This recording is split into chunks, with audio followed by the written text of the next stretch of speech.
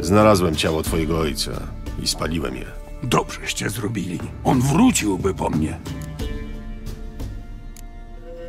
Jak to było z twoim ojcem? Naprawdę go zabiłeś? To był zły człowiek. Kiedyś guślarz się go bał, ale potem zbężniał. To, co ojciec robił matce, guślarz nie mógł na to patrzeć. Rozłupał mu łeb siekierą i utopił w bagnie. Ale ludzie wiedzieli,